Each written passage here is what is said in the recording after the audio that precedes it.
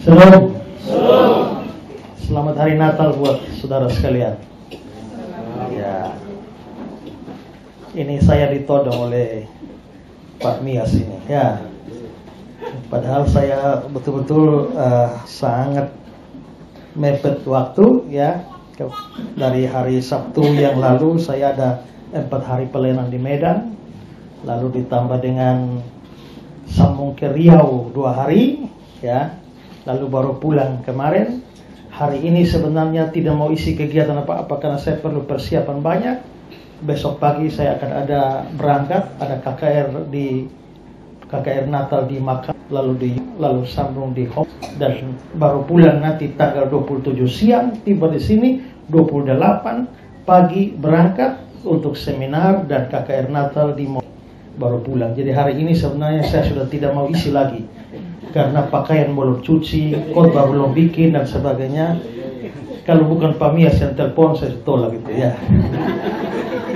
Tapi pasti Tuhan ya suruh beliau telepon saya dan Tuhan juga yang kasih tahu saya supaya suruh terima ya.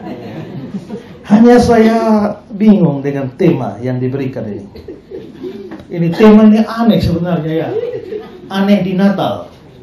Tapi memang Tuhan Yesus omong memang begitu ya di Matius pasal 10 ayat 34. Jadi saya mau tadi saya pikir-pikir, saya lupa coba tadi tahu datang bawa lakban.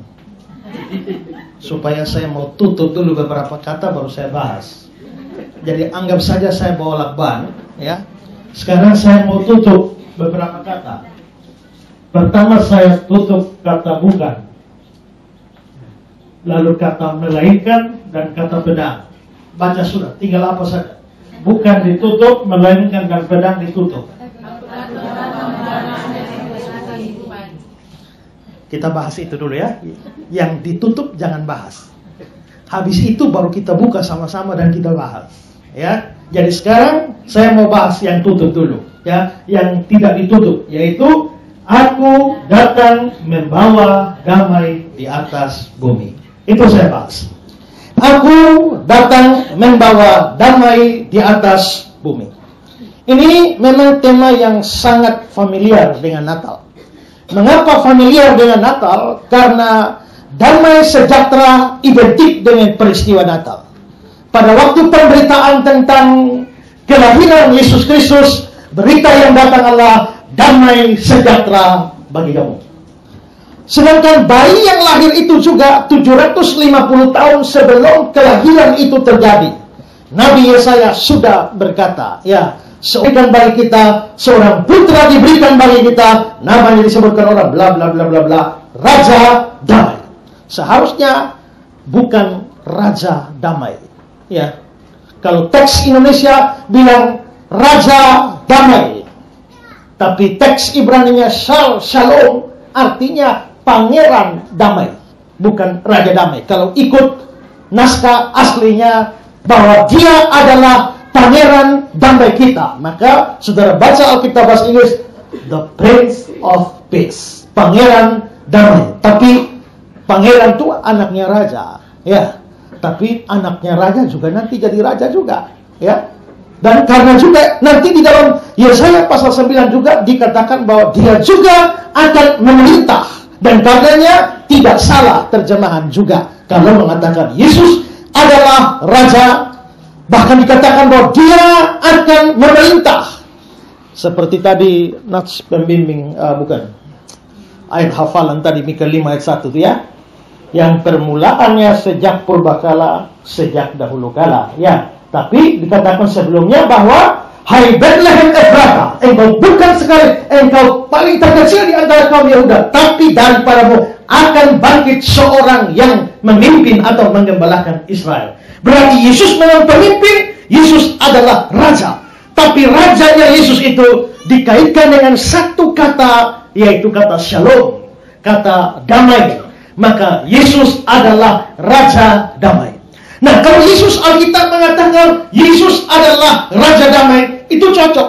Kenapa? Karena pekerjaannya Yesus ini boleh disebut sebagai pekerjaan damai. Yesus bekerja yaitu mengerjakan perdamaian. Nah, Kalau begitu pertanyaan kita sekarang adalah perdamaian macam apa yang dikerjakan oleh Tuhan Yesus? Tuhan Yesus bikin damai apa saja sehingga dia layak disebut sebagai Raja Damai. Hari ini saya ingin menyampaikan pada kita ada tiga perdamaian yang Tuhan Yesus kerjakan. Yang pertama adalah dia mengerjakan perdamaian antara manusia dengan Allah. Dia mengerjakan perdamaian antara manusia dengan Allah. Alkitab berkata, semua kita orang berdosa. Tidak ada manusia yang tidak berdosa. Satu-satunya perkecualian adalah manusia Yesus Kristus. Tapi semua manusia itu berbuat dosa. Kenapa semua manusia berbuat dosa? Karena Adam adalah manusia yang berdosa menurut Roma pasal 5 karena pelanggaran satu orang semua orang semua manusia berada penghukuman karena ketidaktaatan satu orang semua manusia menjadi orang berdosa saya pernah ditanya orang, Pak, rasanya tidak adil. Kenapa? Masa gara-gara Adam tidak taat, semua manusia kena hukuman? Hanya gara-gara Adam yang berdosa, semua kita jadi ikut berdosa. Rasanya tidak adil. Tapi saudara, ini bukan persoalan adil. Tapi itu sesuatu yang logis terjadi. Kenapa? Ada dua alasan. Pertama, Alkitab berbicara Adam itu perwakilan manusia. Adam itu perwakilan manusia. Nanti dalam perjanjian baru kita lihat manusia diwakili oleh dua orang. Manusia lama perwakilannya Adam. Tapi manusia baru perwakilannya adalah Kristus. Tapi sebelum Kristus ada, maka Adam adalah perwakilan semua manusia. Kalau Adam perwakilan semua manusia, maka Adam suci, semua suci. Adam jatuh, semua jatuh. Adam najis, semua najis. Adam berdosa, semua berdosa. Kenapa? Karena perwakilan. Mengerti? Kalau kurang mengerti, saya kasih contoh. Kalau pertandingan sepak bola yang main berapa orang? 11. Kalau Indonesia punya pemain sepak bola berapa yang main? Kalau Indonesia ada pertandingan sepak bola yang turun lapangan berapa orang Indonesia? 11. Kalau Indonesia pertandingan melawan Thailand yang main 11 orang. Kalau 11 orang itu menang, kita bilang apa? Indonesia menang. Wuh, kita menang, kita menang. Ikut main? Tidak. Tidak ikut main, tapi kenapa berteriak kita menang, kita menang? Karena 11 orang itu perwakilan kita. Kalau dia mereka 11 kalah, kita uh, menyesal kita kalah. Tidak ikut main juga. Ya, tapi kita kalah. Kenapa? Kenapa 11 menang kita menang, 11 kalah kita kalah? Karena 11 itu perwakilan kita. Adam itu perwakilan kita. Itulah sebabnya kalau Adam suci, kita suci. Adam jatuh, kita jatuh. Adam dosa, kita dosa. Makanya Alkitab bilang, karena ketidaktaatan satu orang, semua orang telah beroleh penghukuman. Karena ketidaktaatan satu orang, semua orang telah menjadi orang berdosa. Semua kita orang berdosa. Kedua adalah waktu Adam berbuat dosa, naturnya Adam, natur itu sifat dasarnya Adam, itu sudah orang berdosa. Maka yang bisa dihasilkan dari seorang berdosa hanyalah orang berdosa. Kalau monyet beranak, anaknya apa? Monyet. Kalau monyet bercucu, monyet bercicit, bercecek, bercocok. Seribu kali monyet kawin, anaknya, turunannya pasti monyet. Tidak pernah wih. Bapak dong itu monyet beranak kakarlak. Tidak. Ya kan? Monyet pasti beranak monyet. Karena itu maka turunan monyet pasti monyet. Turunan orang berdosa pasti adalah orang berdosa. Itulah sebabnya semua kita disebut sebagai orang berdosa. Nah, waktu Alkitab bicara kita orang berdosa itu, Alkitab melihat semua orang berdosa sebagai seteru Allah, sebagai musuh Tuhan Allah. Makanya pada saat Adam berbuat dosa, Allah usir dia keluar dari Taman Eden. Kenapa? Karena tadinya mereka kekasih Allah, orang yang sangat disayang oleh Allah, begitu terjadi dosa, maka mereka berubah menjadi musuh Allah. Pada waktu Paulus membahas kehidupan orang-orang sebelum mereka percaya Kristus. Dikatakan Roma 5, sebab jikalau kita ketika masih seteru, kita ketika masih seteru, maka sebenarnya semua orang berdosa itu adalah seteru Allah. Musuhnya Allah. Dan saudara bayangkan, kalau kita adalah musuhnya, Pak RT kita susah itu.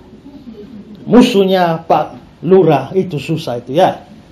Tapi musuh gubernur kita yang baru, siapa namanya? Pak Victor Laiskodat. Wih kita susah sudah ya. Karena kita tinggal di wilayahnya, kekuasaannya. Musuh Jokowi lebih susah lagi. Musuh Donald Trump. Wih mungkin kita payah. Tapi manusia berdosa adalah musuh Tuhan Allah yang menguasai alam semesta. Lu mau lari di mana? Ya, kalau begitu sepanjang manusia hidup di dalam dosa, manusia berdosa,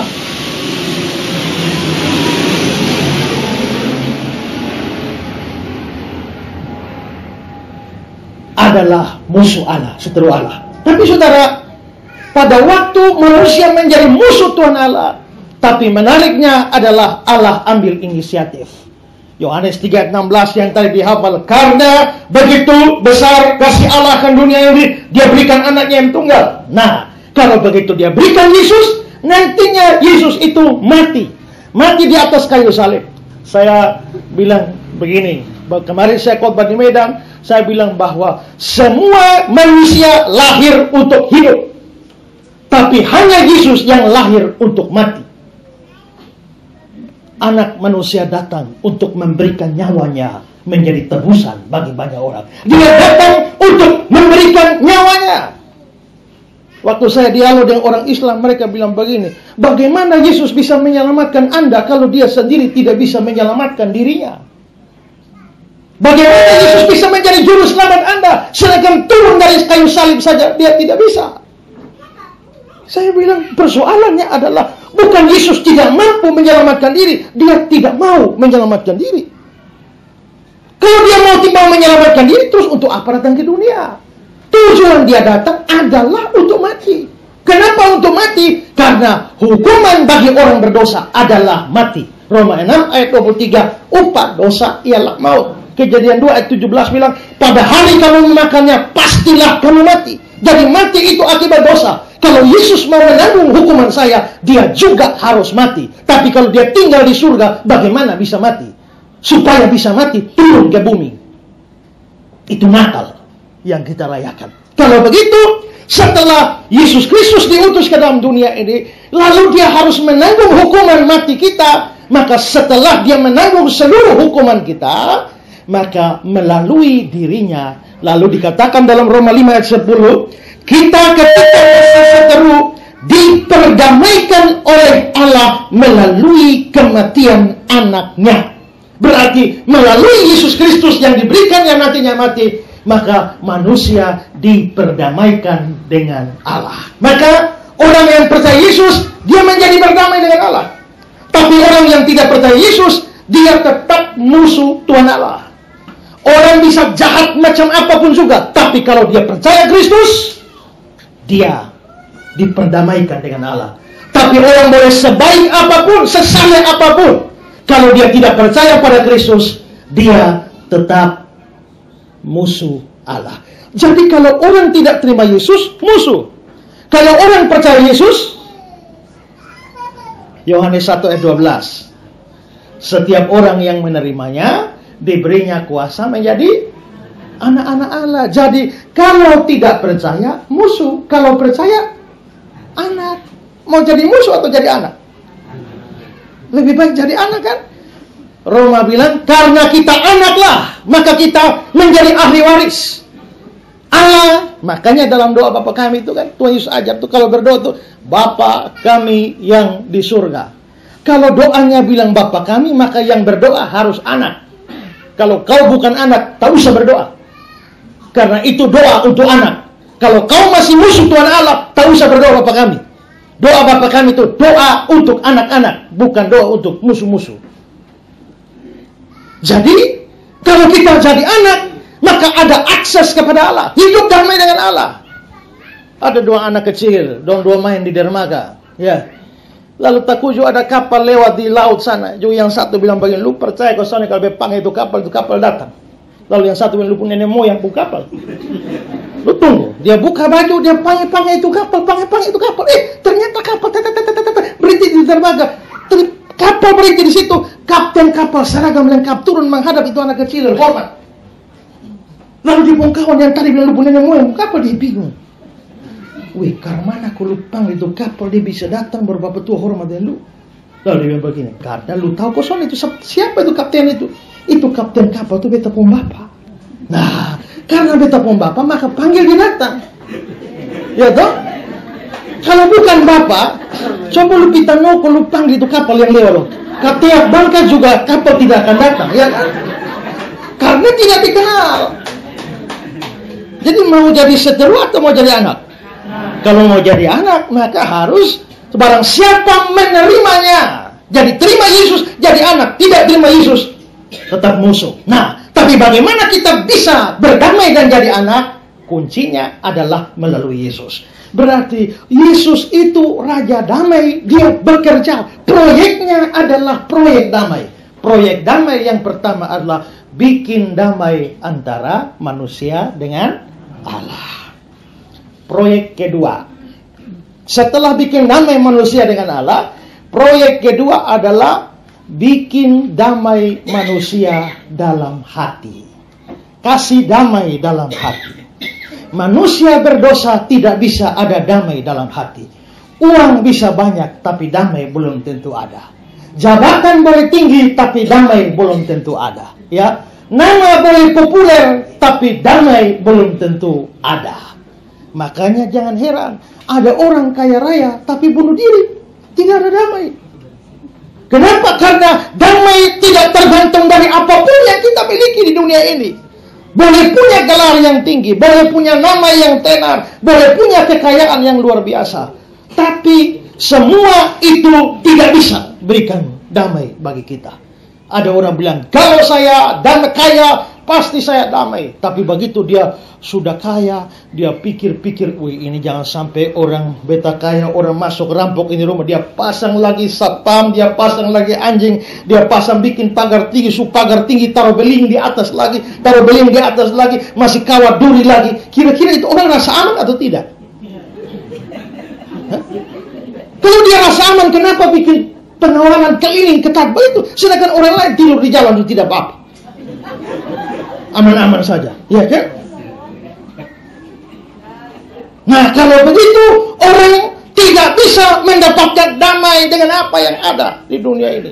Orang-orang populer seperti Marilyn Monroe, seperti Muhammad Ali, seperti Lex Ackerman. Lex Ackerman itu yang bikin apa produksi alat-alat kecantikan banyak-banyak itu. Itu dari Lex Ackerman. Tapi mati akhirnya tidak ada damai sampai umur 30 lalu akhirnya bunuh diri dengan semua obat-obatan terlarang yang masuk. Ya. Nah kalau begitu saudara-saudara damai tidak bisa didapatkan dari apa pun. Makanya kita menyanyi ke gunung tinggi ku naik naik naik mencari damai. Ya kan? Ke lembah curang ku turun turun mencari damai. Tapi damai tidak ada di sana kecuali di dalam Yesus. Kenapa Tuhan Yesus bilang, damai sejahtera ku tinggalkan bagimu, damai sejahtera yang ku berikan bukan seperti yang diberikan oleh dunia ini padamu. Jangan gelisah dan gentar hatimu. Yohanes pasal 14 ayat 27. Damai itu diberikan. Beda dengan damai dunia. Bahkan aman dan sejahtera walau di tengah badai. Di tengah badai pun orang bisa damai. Itu damai dari Tuhan Yesus. Di Prancis pernah diadakan lomba melukis. Temanya damai sejahtera. Siapa yang kalau kita lihat dia punya gambar betul-betul hati ada damai, maka dia jadi juara. Ada gambar bagus-bagus diberikan. Ada yang gambar petani sore hari pulang dari sawah, pikul ini hasil bumi dan sebagainya. Wah, ada burung-burung terbang, matahari hampir terbenam. Uh, rasanya teduh sekali. Gambar yang berikut lagi ada nelayan baru pulang dari laut. Ada sunset yang hampir tenggelam. Dia bawa hasil dari laut, tapi ternyata bukan gambar-gambar itu yang juara. Yang juara justru ada satu gambar aneh. Gambar itu adalah gambar satu batang pohon, ada cabangnya dan ada seekor burung bertengger di atas dan digambarkan bahwa angin badai hantam itu pohon dan ini pohon hampir patah dan itu burung bertengger tetap di atas cabang itu sampai sudah miring-miring karena hampir patah. Dan itulah gambar yang keluar sebagai pemenang gambar damai sejahtera. Artinya apa? Damai itu bukan karena tidak ada angin. Damai itu bukan karena tidak ada badai. Bukan hanya tenang-tenang semua aman-aman. Tidak. Damai itu adalah kemampuan bertahan di tengah-tengah angin ribut sekalipun. Nah, damai model begitu hanya satu orang yang bisa berikan. Siapa? Yesus Kristus. Karena itu maka orang kalau sudah percaya Yesus, hatinya pasti penuh dengan damai. Amin. Hatinya penuh dengan damai. Tapi kalau orang tidak percaya Yesus, Amsal bilang, di dalam tertawa pun hati dapat merana. Lu lihat Bapak tua tertawa begitu mama nangis dalam. begitu kan? Satu hari di satu kota ada satu orang yang sakit. Penyakitnya aneh, tidak ditemukan oleh dokter. Lalu dokter menyuruh dia pergi ke psikiater ilmu jiwa dokter dokter sakit jiwa. Lalu dia pergi ke sana, dokter periksa, dokter periksa, bilang, wah ini kayaknya sakitmu bukan sakit fisik, ini ada sakit lain, sakit jiwa ini. Lu pergi ke psikiater. Nah, lalu sampai di psikiater, psikiater bilang kasih analisa, lalu psikiater bilang begini, memang betul, kamu sebenarnya tidak sakit fisik, hanya jiwamu yang kelihatan menderita. Kamu cukup bikin dirimu senang dan tertawa-tertawa, kamu akan damai. Bagaimana caranya? Begini. Mulai besok di kota kita ini akan ada acara pagelaran badut. Lucu-lucu sekali. Kamu usahakan pergi ke sana, duduk paling muka, lihat badut itu, dan tertawa sepuas-puasnya, pulang sakitmu bisa sembuh. Lalu dia bilang, Pak, tidak usah. Kenapa tidak usah? Itu baik. Pak tahu itu badut itu siapa? Ini nih. Saya sayalah yang jadi badut yang sering buat orang tertawa. Tapi saya tidak bisa tertawa. Di dalam tertawa pun hati orang bisa merana. Ya kan? Kalau begitu, yang bisa bikin damai itu hanya Yesus. Maka proyek damai pertama dari Yesus adalah bikin manusia damai dengan Tuhan Allah. Kedua, bikin damai di hati manusia. Terus ada proyek ketiga. Proyek ketiga adalah bikin damai dengan sesama. Ya. Kalau saudara lihat di Alkitab, sebenarnya ada dua kubu yang dianggap sebagai musuh. Saudara baca surat-surat, saudara akan ketemu bahwa uh, ada kalanya ada kalanya dibilang orang-orang bersunat dan orang-orang tak bersunat. Orang-orang Yahudi dan orang-orang non Yahudi. Dua kelompok itu selalu jadi masalah. Kenapa? Karena orang Yahudi ini orang yang fanatik. Fanatik luar biasa. Menurut orang Yahudi, mereka adalah bangsa pilihan Allah yang diciptakan Allah untuk masuk surga. Lalu untuk apa Tuhan Allah menciptakan bangsa-bangsa lain? Untuk apa Tuhan Allah cipta orang India, orang Afrika, orang Mesir, orang Asyur, orang Ethiopia, orang Indonesia dan sebagainya? Alasannya adalah karena di neraka butuh kayu api. Jadi untuk menyalakan api di neraka itu Tuhan cipta ini bangsa lain ini. Jadi menurut orang Yahudi, kita semua yang non Yahudi ini itu adalah untuk kayu bakar di neraka. Itu pikiran mereka, ya. Dan mereka menilai orang-orang non Yahudi itu tidak lebih dari anjing. Kalimat seperti ini pernah diungkapkan oleh Yesus mewakili pandangan Yahudi. Tidak baik mengambil roti yang disediakan anak-anak untuk dibuang pada anjing. Lalu juga saudara-saudara, bagi orang Yahudi ada anggapan bahwa Allah mencintai dunia ini, Allah mencintai Israel, tapi tidak mencintai dunia ini. Hanya mereka satu-satunya yang dicintai oleh Allah. Dan bahkan saudara, mereka punya anggapan, kalau di tetangganya ada seorang perempuan non-Yahudi yang hamil dan mau melahirkan, tidak boleh tolong. Kenapa? Kalau kau menolong perempuan non-Yahudi dan sampai anaknya lahir dengan selamat ke dunia, kau hanya menambah satu orang kafir di dunia ini. Dan juga tidak boleh berkunjung ke rumah orang non-Yahudi, tidak boleh bertamu. Lagi pula, selain tidak boleh bertamu, lebih parah adalah kalau kamu duduk makan bersama orang non-Yahudi. Saudara ingat cerita di mana Rasul Paulus pernah menegur Petrus karena Petrus duduk makan bersama orang non-Yahudi. Tapi begitu saudara-saudara yang lain datang, dia langsung pura-pura tidak. Lalu Paulus tegur dia, munafik kamu. Ya, kenapa? Karena memang hukumnya dilarang. Waktu Tuhan suruh Petrus pergi ke rumah Cornelius. Ya kan? Cornelius itu orang non-Yahudi, orang Roma. Petrus orang Yahudi.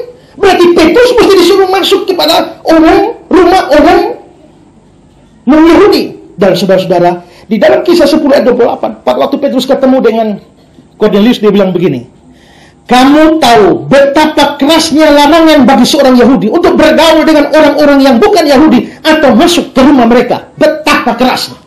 Tidak boleh. Jadi ada dua kubu. Ini juga jadi persoalan waktu gereja Kristen mulai berkembang keluar Israel. Kenapa? Karena di satu sisi ada jemaat Kristen orang Yahudi, tapi ketemu dengan jemaat Kristen non Yahudi. Kumpul dua kubu itu jadi persoalan. Jadi persoalan begini. Orang non Yahudi makan babi tidak jadi soal. Tapi orang Yahudi kalau makan babi haram. Biarpun mereka sudah Kristen, tapi namanya makan babi begitu dan binatang haram tidak bisa. Tapi orang non Yahudi ah sikat saja. Tapi sekarang mereka satu gereja. Karena mereka satu gereja, jadi soal ada acara gereja taruh babi atau tidak. Orang non Yahudi minta ada babi, orang non Yahudi, orang Yahudi bilang tidak boleh. Maka terjadilah pertikaiannya. Maka dibawalah ke sidang Yerusalem di kisah para rasul pasal yang ke-15. Lalu minta rasul-rasul memutuskan untuk yang Yahudi jangan bikin berat pundak orang non Yahudi dengan semua aturan Yahudimu. Dan untuk yang non Yahudi hargailah saudaramu Yahudi, maka jauhilah makanan-makanan haram. Itu bukan berarti kita tidak boleh makan babi, RW dan sebagainya. Itu hanya toleransi karena sikon waktu itu.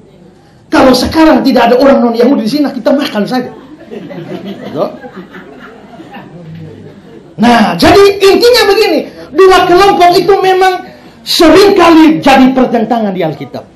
Tapi saudara, di dalam Tuhan Yesus, tembok pemisah Yahudi dan non-Yahudi itu dihancurkan.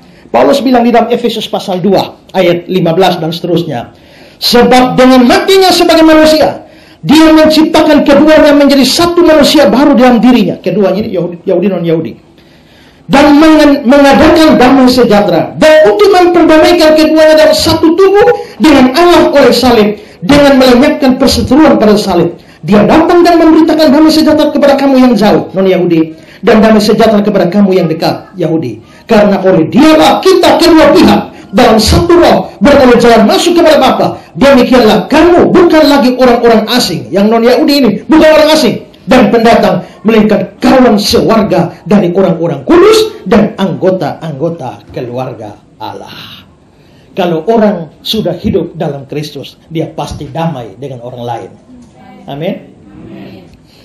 Saudara, Salah satu murid Tuhan Yesus adalah Matius, pemungut cukai. Pemungut cukai itu bekerja untuk kaki tangan orang Roma, pemungut pajak. Ambil pajak dari masyarakat, masuk ke pemerintah sebagian, sisanya dong kodok. Maka orang Yahudi paling benci namanya pemungut cukai. Makanya ingat waktu Sakeus pemungut cukai itu, Tuhan Yesus pergi ke rumahnya orang banyak mengomel kan? Mengapa dia menumpang di rumah orang berdosa? Matius ini pemungut cukai. Waktu itu orang sangat benci pemungut cukai, tapi ada satu grup yang paling benci pemungut cukai itu namanya orang Selot. Itu garis keras itu. Mungkin FPI-nya Israel. Jadi kalau sampai orang Selot naik ketemu pemungut cukai, dia pasti bunuh. Tapi masalahnya Matius pemungut cukai murid Yesus. Ternyata murid Yesus ada orang lain yaitu Simon orang Selot. Seandainya Simon naik ketemu Matius di luar Kristus, Matius soal almarhum. ya kan? Tapi untung baik waktu Simon ketemu Matius, ternyata dua-dua sudah jadi murid Kristus. Ya, kalau begitu dua-duanya damai. Jadi orang bermusuhan sampai ketemu dalam Kristus jadi damai. Tapi cilakanya sekarang dua-dua di dalam gereja baku musuh tiga tahun belum bye-bye juga, ya kan? Cilaka. Merayakan Natal, damai sejahtera, tapi hati tetap babangkan dengan orang. Lihat orang buah muka. Orang benci orang itu yang susah tuh yang benci. Yang dibenci tidak apa-apa, yang benci itu yang susah. Yang tidak yang dibenci itu dia pakai baju merah, kamu apa hijau dia lewat saja. Tapi yang benci itu lihat itu merah, siang merah. Dia pakai merah lu yang sakit. Makanya ada teman yang bilang begini. Tetangga beli motor, lu yang meraung-raung di sini. Tetangga beli kulkas, lu yang mengigil di sini. Tetangga beli kipas angin, lu yang terputar di sini. Susah itu kalau benci orang dia.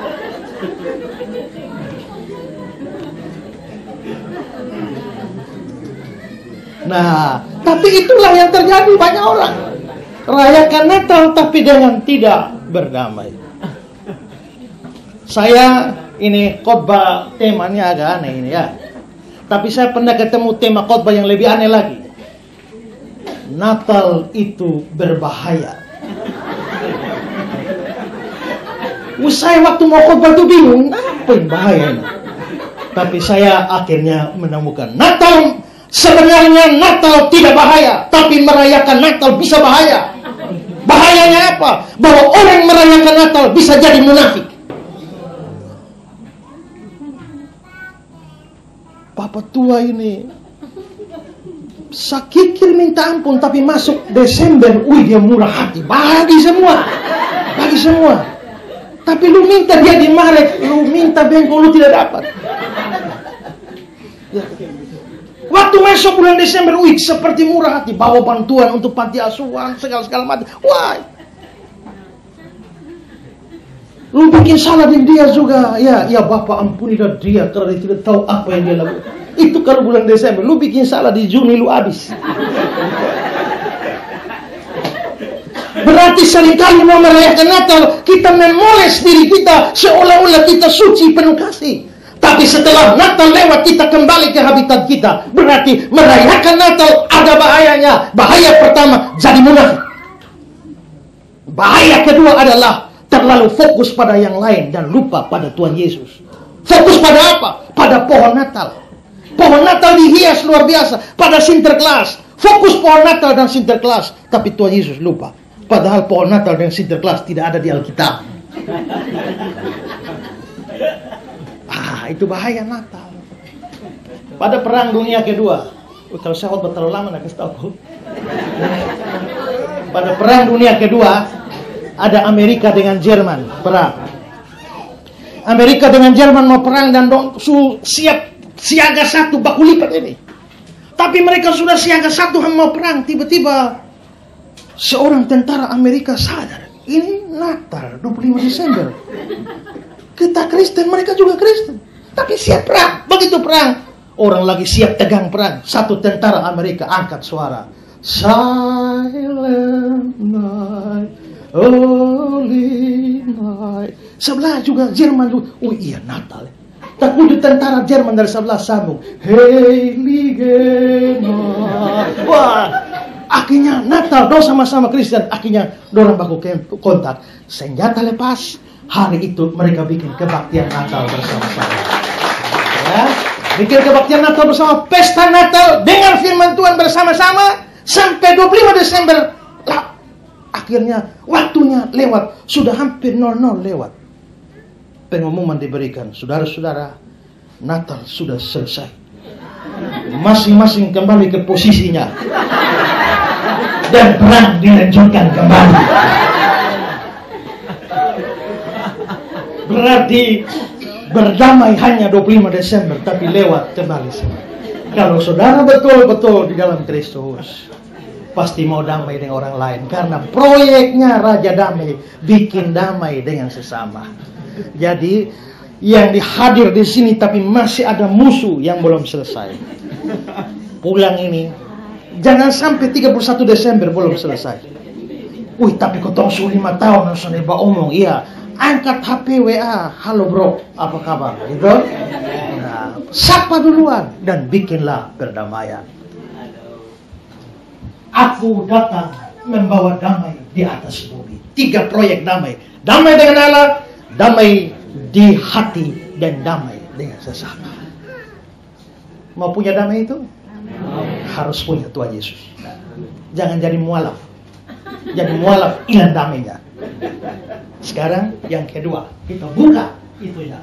Aku datang bukan membawa damai di atas bumi, melainkan pedang. Nah, sekarang tadi Tuhan Yesus Raja Damai bikin proyek damai. Tapi tiba-tiba Bapak Tua bikin kalimat mengagetkan. Aku datang bukan bawa damai. Tapi bawa pedang. Seringkali ayat ini jadi masalah. Kita bingung apa maksud Tuhan Yesus. Tapi ingat, cara memahami Alkitab dengan benar adalah melihat konteksnya. Konteksnya itu adalah ikatan kalimat sebelum dan sesudahnya. Saudara, waktu saya masih sekolah teologi di Malang. Zaman itu jangankan HP. Telepon masih belum ada. Sudah ada tapi masih jarang orang. Jadi komunikasi dengan orang tua hanya surat. Saya biasa komunikasi dengan papa mama lewat surat saja. Cerita panjang lebar kirim. Lalu saudara, satu hari saya kirim surat buat mama saya. Saya cerita apa yang saya alami. Saya bilang, mama, satu malam saya pulang dari Surabaya. Mampir di alun-alun kota Malang. Saya melihat ada beberapa orang Madura tukang becak di sana. Timbullah niat hati saya untuk beritakan Injil pada mereka. Saya mendekati orang-orang Madura itu dan beritakan Injil pada mereka.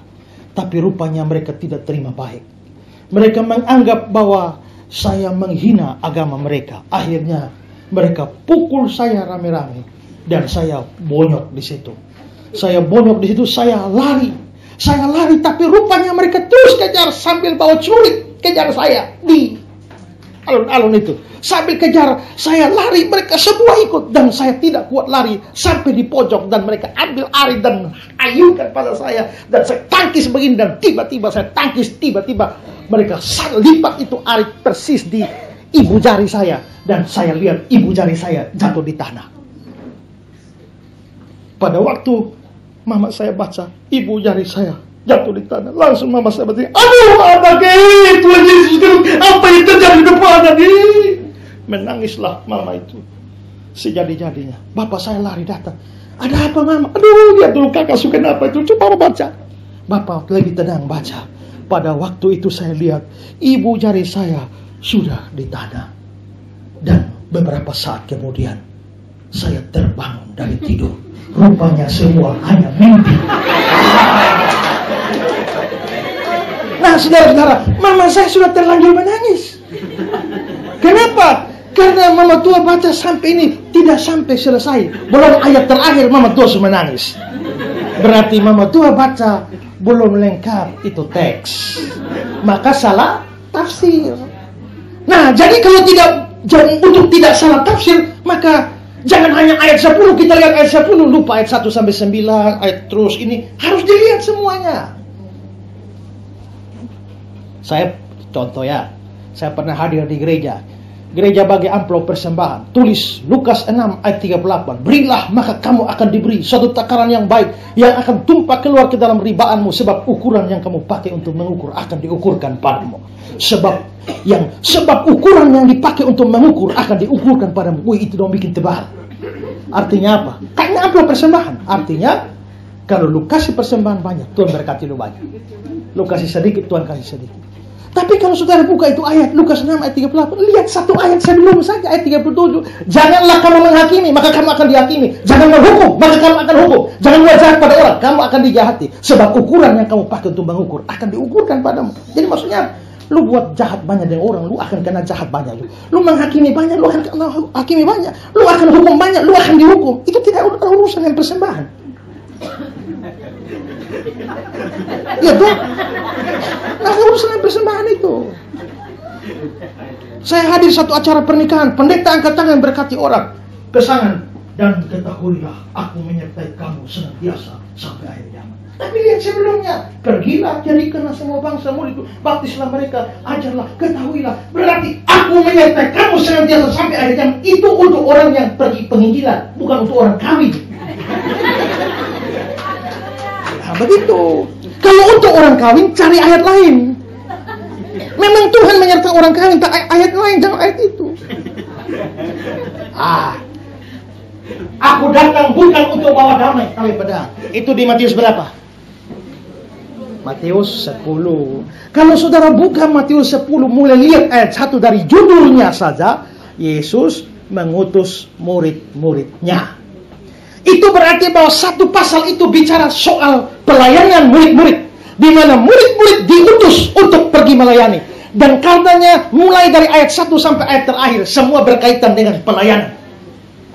Nah, pergi beritakan tentang Yesus di mana-mana. Aku berkata kepadamu, aku datang bukan membawa damai di atas bumi, melainkan pedang. Maksudnya apa? Pedang di sini itu tidak bermakna hurufiah. Pedang di sini artinya pemisahan. Yesus datang bawa damai. Ini tidak bertentangan dengan yang Natal tadi. Terus apa maksudnya? Begini. Ini kan penginjilan. Kalau penginjilan itu untuk orang yang tidak percaya Yesus. Saya ambil gambaran begini. Kalau Pak ini adalah seorang muslim yang sangat taat beribadah. Dengan istri yang soleh dan anak-anak semua yang cinta Allah subhanahu wa ta'ala. Sangat taat di dalam Islam. Tapi karena Islam semua tidak percaya Yesus. Lalu datanglah saya penginjilan. Beritakan Injil kepada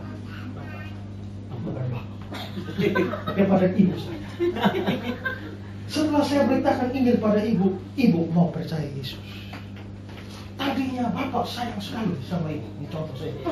Kalau ibu betul dong contoh saya ya. Tadinya bapak sayang sekali sama ibu tapi sekarang saya beritakan Injil pada ibu. Ibu sekarang mau percaya Yesus dan saya baptis. Apa respon bapak terhadap bangsa ini. Ah, mulai sudah dia singkat semua. Tadinya sayang tapi sekarang benci. Tadinya ada damai tapi gara-gara saya beritakan Yesus lalu ini terima akhirnya damainya jadi hilang muncul permusuhan di tengah-tengah keluarga maka aku datang bukan bawa damai untuk orang yang percaya aku bawa damai tapi waktu Injil diberitakan Orang yang percaya akan percaya Yesus. Tapi orang yang tidak percaya Yesus akan membenci orang yang percaya Yesus. Maka damai yang tadi ada, damai yang di luar Kristus itu dihancurkan melalui pemberitaan tentang Tuhan Yesus. Saya beri contoh. Pendeta Yusuf Romi yang dulu Islam masuk Kristen, dia punya cerita. Saya dengar keputusan dari Kristen sebelumnya dia disangat disayang oleh orang tuanya di sekolah. Waktu dia percaya Yesus, Bapaknya sangat marah, keluarkan dia dari daftar keluarga. Lalu tidak akui dia sebagai anak. Usir dia dari rumah. Pada waktu dia pamitan mau keluar dari rumah, papanya tanya, sahabat, itu baju siapa yang beli? Papa, lepas. Dia lepas baju. Mau jalan, celana yang beli? Papa, lepas. Tinggal pakai celana dalam. Pas mau jalan, sandal siapa yang beli? Papa, lepas. Lepas. Pas mau jalan, Papa tanya, itu celana dalam yang beli? Papa, lepas. Dan beli. Dia lepas. Pada waktu dia mau pergi, mamanya masih sayang, malu. Jadi akhirnya ambil kain meja, tutup dia di pinggang sini dan usir dia pergi.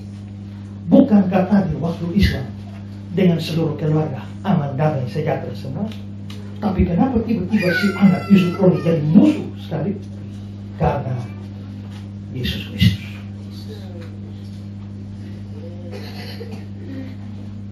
Maka orang-orang orang-orang yang tidak percaya Yesus pasti benci orang-orang yang terima Yesus.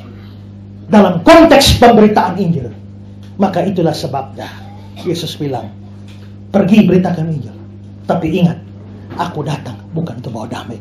Kalau saudara baca ayat itu selanjutnya, dia bilang begini, Jangan kamu menyangka aku datang membawa damai di atas bumi. Aku datang bukan untuk bawa damai, melainkan pedang. Sebab aku datang untuk memisahkan orang dari ayahnya, anak perempuan dari ibunya, menantu perempuan dari mertuanya, dan musuh orang ialah orang-orang seisi rumah. Kenapa ayah bisa bermusuhan dengan anaknya? Karena bisa jadi adalah bahwa anaknya percaya Yesus, ayahnya tidak. Anak perempuan dari ibunya, mungkin anak perempuan percaya Yesus, ibu tidak. Mertua dari menantu, bisa jadi menantu percaya Yesus, mertua tidak. Akibat daripada itu, orang menjadi musuh orang seisi rumahnya. Itu konteksnya. Artinya apa? Artinya begini. Kalau kamu betul-betul mau ikut Yesus, kamu harus siap dibenci. Bahkan dibuang oleh orang-orang yang kamu sayangi. Mungkin kalau kamu tetap di dalam kepercayaan yang lama, tidak usah percaya Yesus, semua akan aman dan damai. Tapi waktu kamu terima Yesus, kamu akan bisa kehilangan semuanya. Tapi saudara-saudara, sebelumnya nanti di ayat-ayat setelah itu Tuhan Yesus bilang begini, Barang siapa mengasihi aku lebih daripada bapa dan ibunya, sesungguhnya ia tidak layak bagiku. Jadi apa? Maksudnya, maksudnya kalau kamu betul-betul mengasihi Yesus, kamu harus rela kehilangan papamu, rela kehilangan mamamu, saudara-saudaramu, kakak adikmu, asal kamu bisa menjadi muridku. Kalau kamu masih mengasihi mereka lebih daripada kamu mengasihi aku, kamu tidak layak.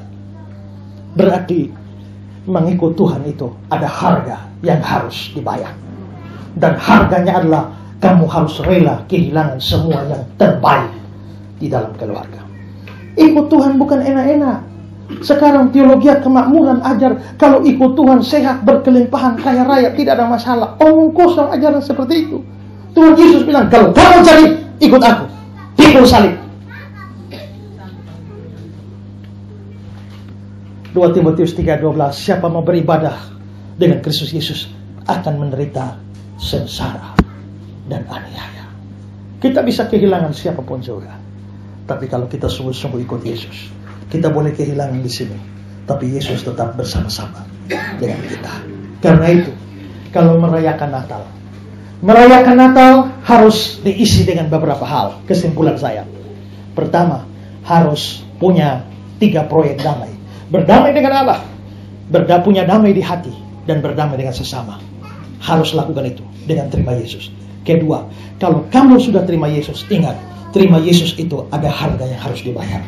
Kamu bisa kehilangan yang kamu cintai di dunia ini. Tapi tidak peduli karena Yesus datang bukan untuk bawa damai, damai palsu. Damai yang palsu kompromi dengan kebenaran. Tapi damai yang asli akan menghancurkan damai yang pas yang palsu itu.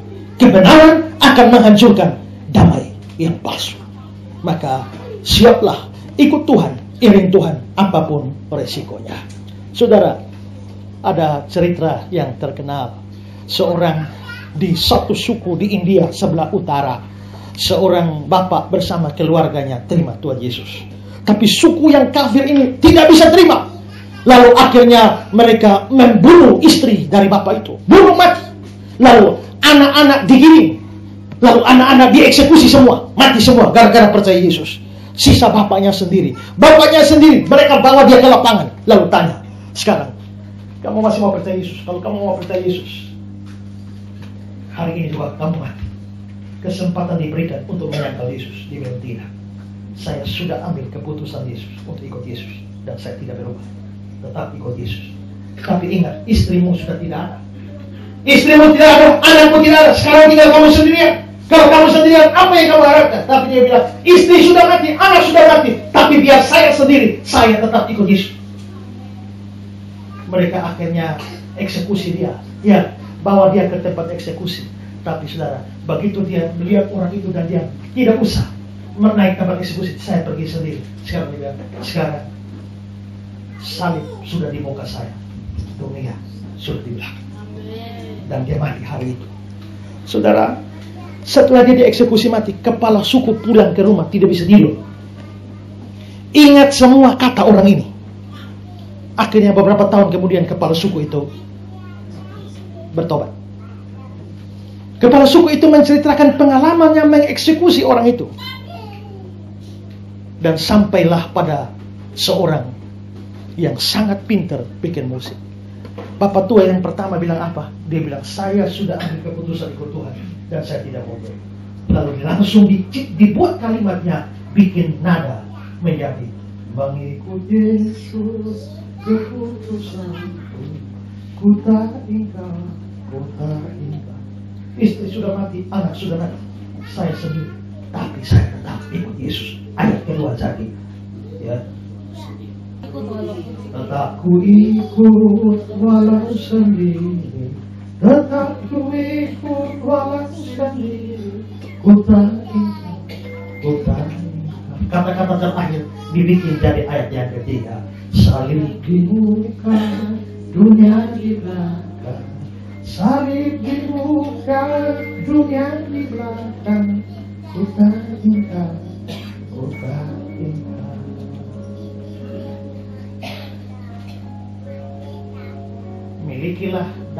Natal itu.